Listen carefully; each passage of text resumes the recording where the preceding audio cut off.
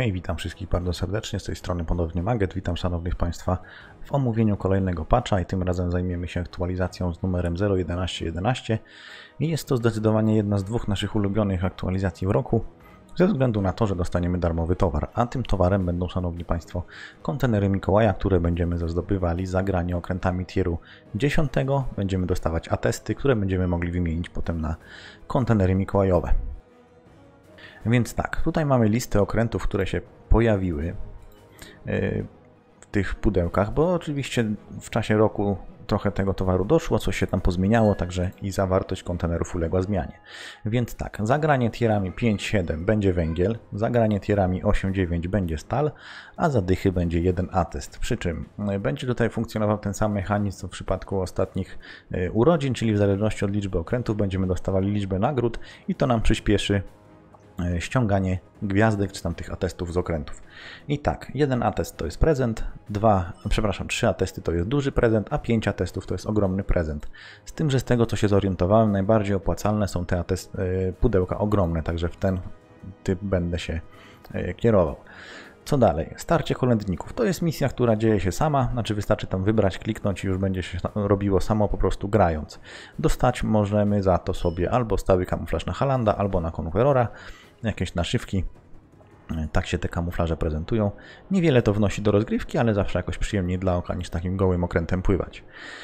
E, co dalej? Bitwy noworoczne. Będzie tutaj łańcuch zadań do wykonania, przy czym pierwsza misja jest do wykonania okrętem Renown 44 i szanowni Państwo, ten okręt będziemy mogli zdobyć budując e, w stoczni e, admirała Shreddera. Nie pamiętam za który etap, ale będzie można oczywiście okręt kupić wcześniej i grając y, pierwszą misję y, tym okrętem będziemy mogli odblokować ciąg 7 misji, gdzie nagrodą będzie albo Dido, albo Canarias, przy czym zdecydowanie bardziej polecam Dido, bo Canarias to jest złom, więc y, będzie można sobie ten okręt zdobyć za granie. Zaktualizowano port Fjord na modułę taką właśnie świąteczną, jakieś tam lampeczki, choineczki, pierdołeczki. Tak to wygląda tutaj. Stocznia. To jest dosyć ciekawy aspekt. Y, okręt tieru 9 admirał Schroeder, czyli taki krążownikowy Bismarck, coś tego typu. Mamy tutaj ciekawą informację. Otóż yy, długodystansowe i celne działa dodatkowe. Angir miał być kiedyś okrętem sekundarkowym, krążownikiem. Niestety to nie wypaliło i teraz miejmy nadzieję, że admirał Schroeder przejmie pałeczkę i będzie to robił całkiem przyzwoicie, bo na chwilę obecną krążowników sekundarkowych no nie mamy. Napoli jakoś tam się w tej funkcji spisuje, ale też nie jest to jego główny, główne przeznaczenie. Stocznia będzie się składała z 30 etapów. 26 z tych etapów możecie zrobić za darmo. Za 19, za 19 etap będzie Renown 44, a każdy pojedynczy etap możecie dokupić za 1750 dublonów. Przy czym yy, oczywiście na początku będzie ta opcja tańsza za większą ilość faz. Ja sobie ten okręt zrobię, także stocznie będę grindował, ze względu na to, że jeżeli to ma być sekundarkowy krążownik, to myślę, że warto go e, w porcie posiadać.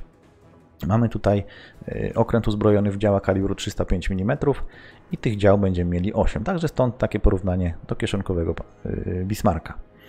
I to tyle. Tutaj japońskie krążowniki lekkie, część druga, czyli nadal wczesny dostęp, przepustka bitewna. Główna nagroda dla przepustki premium to jest y, więcej atestów noworocznych. Zobaczcie, tutaj 25 atestów, co możemy wymienić na 5 ogromnych pudełek. Można sobie policzyć, czy warto, znaczy po prostu lepiej kupić te 5 pudełek y, w sklepie premium bez grania, bo wcześniej mieliśmy za przepustkę premium okręt. To może niektórych kusiło, mnie nie bardzo ale powiem szczerze, y, tutaj wystarczy policzyć i zobaczyć, czy to się opłaca. Czy chce nam się tyle grać, czy wolimy od razu kupić te kontenery. Oczywiście można ich nie kupować, to jest też całkiem zrozumiałe. Wydarzenie okręty obfitości, czyli polujemy na graczy, dostajemy za nich nagrody. Ale to będzie dalej wyjaśniane później. Co my tu mamy dalej? Potyczki. 5 y, na 5 okręty siódmego poziomu, całkiem przyzwoicie. Zbrojownia. Pojawia się trąb. Okręt dostępny za węgiel 238 tysięcy. To jest tier 10. E, niszczyciel, który ma e, uzbrojenie torpedowe, plus ma jeszcze do tego nalot powietrzny, taki jak mają krążowniki holenderskie. Czy to jest ciekawe połączenie? No dosyć niespotykane, biorąc pod uwagę to, co mamy obecnie w Wofiku. Ale czy warto kupować ten okręt, to jeszcze na to pytanie sobie nie będziemy odpowiadać. Myślę, że bliżej yy, uzbierania przeze mnie takiej wartości węgla.